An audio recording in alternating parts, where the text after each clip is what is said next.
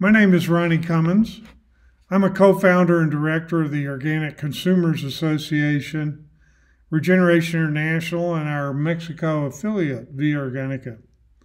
I'm speaking to you today from the Via Organica Ranch and Research Farm in the high desert drylands of San Miguel de Allende, Mexico, 170 miles northwest of Mexico City. In San Miguel de Allende, a group of innovative small farmers, livestock ranchers, and organic activists have developed a new agroforestry and livestock management system, which we call Agave Power. this system utilizes native agave plants up to 2,000 per hectare or 800 per acre of varying ages and nitrogen fixing mesquite and acacia trees, uh, ideally 400 per hectare or you know 150 per acre to green the desert without any irrigation whatsoever, producing large amounts of highly nutritious but inexpensive fermented animal feed. 60 to 100 tons of silage per hectare per year as well as pulque, distilled agave, inulin, which is an important prebiotic nutritional supplement, and other organic value added products. Our desert agroforestry system also sequesters large amounts of atmospheric carbon dioxide above ground and below ground. We sequester up to 140 tons of carbon dioxide per hectare or 56 tons per acre over a 10 year period. As well, we're regenerating soil fertility, biodiversity, and rainfall groundwater retention. Greening Mexico's dry lands, 60% of the nation's lands are classified as arid or semi arid, promises to dramatically improve the economic livelihoods of small farmers and rural communities, reducing the pressures that bring about forced migration to the U.S. The municipality or county of San Miguel de Allende, Guanajuato, as well as the Mexican federal government, have signed the International Climate Agreement 4 for 1000 Soils for Health and Climate. These are positive gestures. However, the challenge in Mexico and across the world is how do we actually fulfill these promises? How do we fix the climate, restore the environment, rehydrate parched soils, and eliminate rural poverty all at the same time?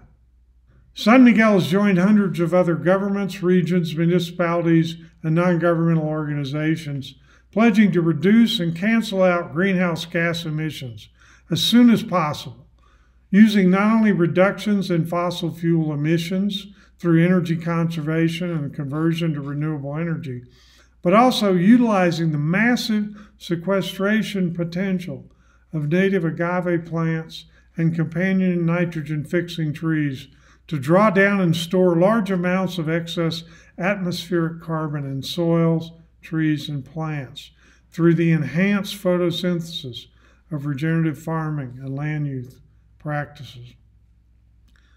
The deployment of the agave mesquite agroforestry system on approximately 50,000 hectares or 125,000 acres over 10 years can enable the municipality of San Miguel de Allende to sequester and store enough atmospheric carbon to cancel out all of its projected greenhouse gas emissions to fulfill its pledge in the 4 for 1000 initiative to reach zero net greenhouse gas emissions by 2033. Mexico's net greenhouse gas emissions annually are approximately 650 million tons of carbon dioxide equivalent. Reaching net zero emissions at the county level here in San Miguel will require deploying the agave mesquite system on approximately 30% of San Miguel's land. These 50,000 hectares will eventually support more than 100 million agave plants and 40 million mesquite and other nitrogen fixing trees, along with pasture grass and cover crops.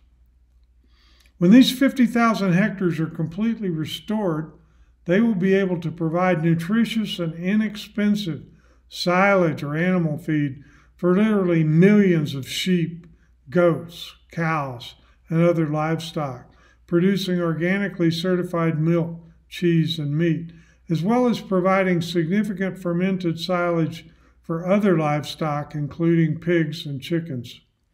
The agroforestry system will, will deliver other important ecosystem services, including increased soil fertility, biodiversity, rainfall retention, and reduced erosion.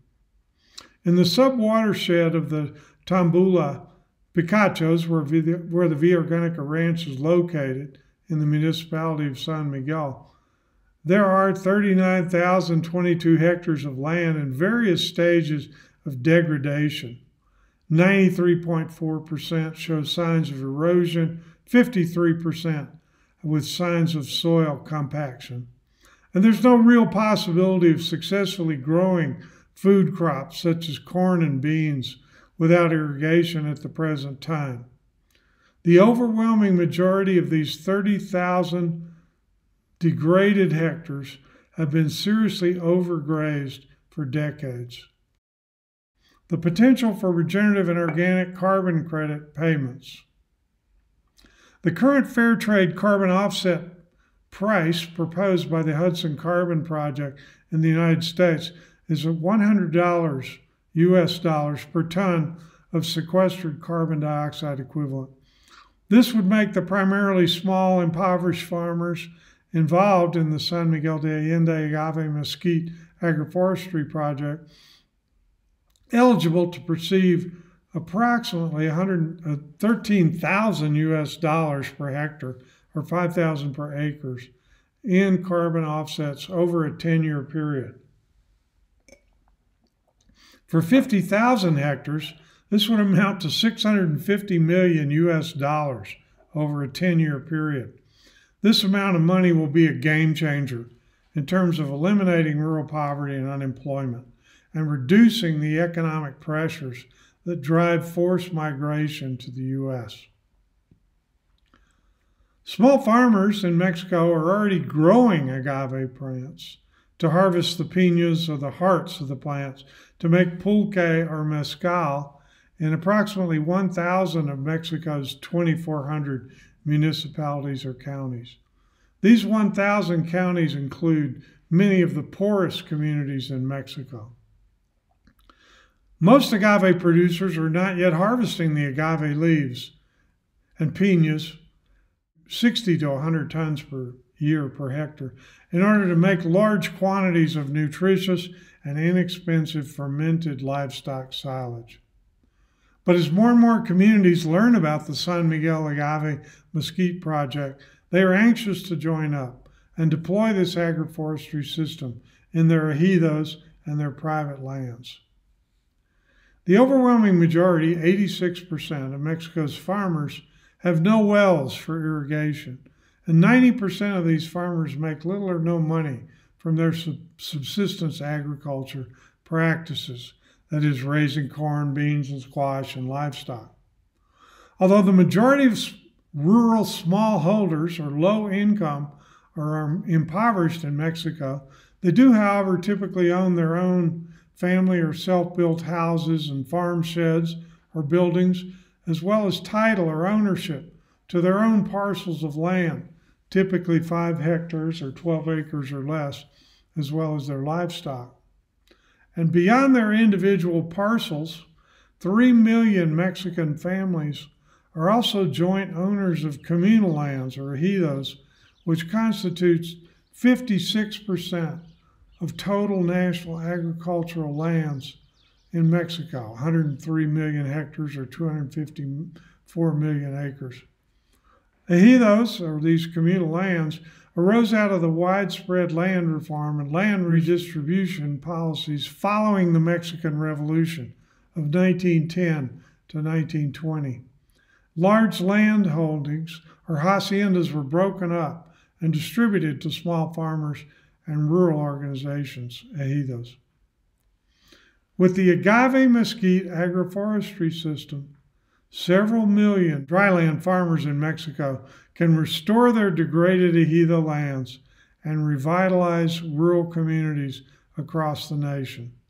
Several hundred million farmers in the world's semi arid and arid lands, 40% of the world's terrain, can do the same. This is what we mean by agave power.